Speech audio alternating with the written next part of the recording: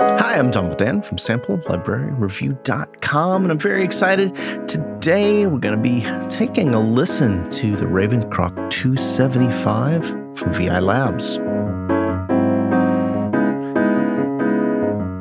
The reason we're putting this video together is we just got uh, some info about this piano, the Ravenscroft 275, will be the audio plugin deals deal for the next two weeks. This library normally sells for uh, 199 US dollars. You'll be able to grab it for just 99 US dollars. That's 50% off. I'll include a link to take you straight over to this plugin's deal. For this video, I reached out to editor Brian Brylow. He uh, performed several different original pieces of music just to share some of the sounds so we could hear what the library has to offer.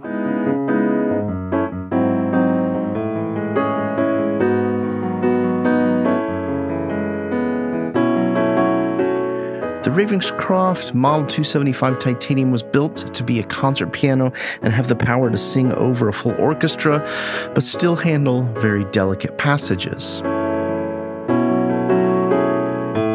Library downloads is about five and a half gigabytes, contains 19 velocity layers with a variety of different release tails. There's four microphone positions you can control optionally. There's a complete pedal control and real sympathetic resonance. So you have sample based pedal down and harmonic key pedal up. You'll have a pedal, half pedal, sostenuto, and una corda, as well as mute strikes. That comes with velocity response settings. You control how your keyboard controller uh, interacts with the instrument, as well as custom tuning adjustments. There's also adjustments for key and pedal noises. The library does play in the free UVI Workstation 2. I'll be sure to include a link so you could grab that free version of UVI, the latest version that is. It normally sells for $199. As I mentioned up top, this is the current APD deal. You can grab it for 50% off for the next uh, week and a half, I believe. Rest of the video just be sampling through some of the wonderful expressive music that uh, editor Brian Brylow was kind enough to share with us playing the Ravenscroft 275.